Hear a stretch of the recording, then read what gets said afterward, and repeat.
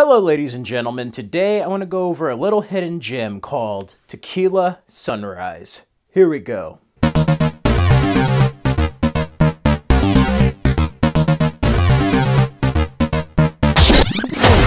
Now, Tequila Sunrise is a little hidden gem from 1988, and I love this film.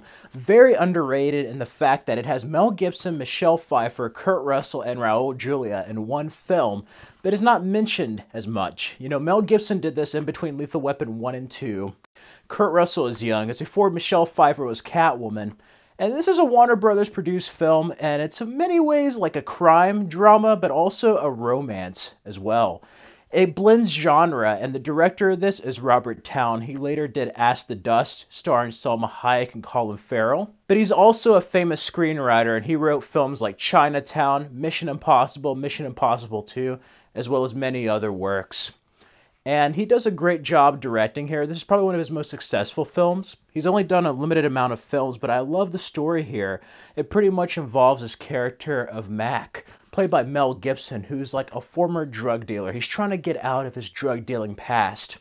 Meanwhile, there's a friend of his, Nick, who Kurt Russell plays. He's a lieutenant in Los Angeles over the drugs, so he's investigating his former friend there's a huge conspiracy to discover this drug dealer named Carlos, who Mel Gibson's character Mac is the only person who's seen his face. So there's a subplot there. Meanwhile, we also get Michelle Pfeiffer as Joanne, this restaurant owner, and there's a love triangle between Nick, Mac, and Joanne.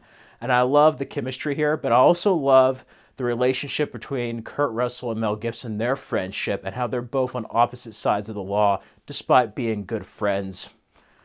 Overall, it blends two genres of crime drama and romance, and I really love the cinematography of this film. The cinematographer does an amazing job. It's a beautiful, beautiful film, the way it's shot. And I also like the music. It definitely has that saxophone element from other 80s films in this, but overall, it's an underrated film, I feel. It's one of the few times where like Mel Gibson plays a bad guy, but he's a protagonist. He's not exactly a bad guy, you know. He's dealing with trying to be a legit businessman, you know. He's not a drug dealer anymore. Meanwhile, he deals with stuff with his ex-wife.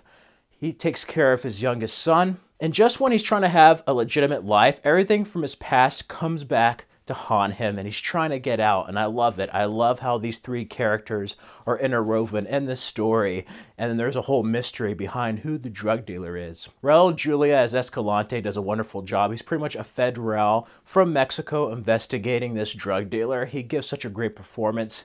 Underrated actor. He also did his own singing in this film overall, what makes this movie, what makes this movie stand apart from other films around this time is the well-written script, the characters. Everything's kind of multi-complex, you know. It's not exactly black and white of like, hey, there's this drug dealer, there's this Lieutenant DEA agent. No.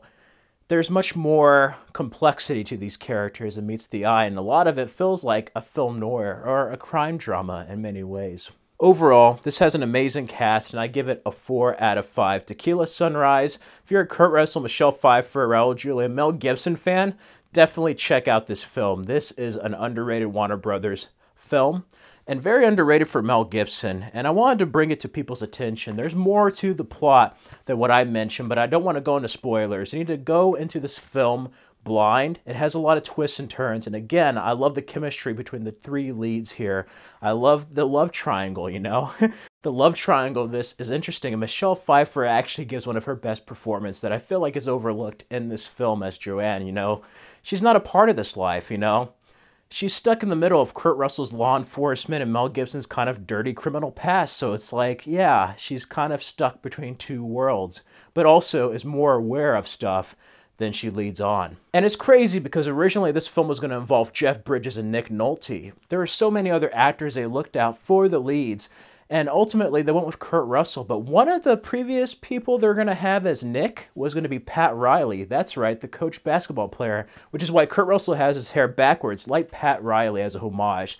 The next time he would do this would be in the Fast and Furious films. And yeah, this is just an awesome movie. I just wanted to bring this hidden gem to all of your attentions out there. Check this out.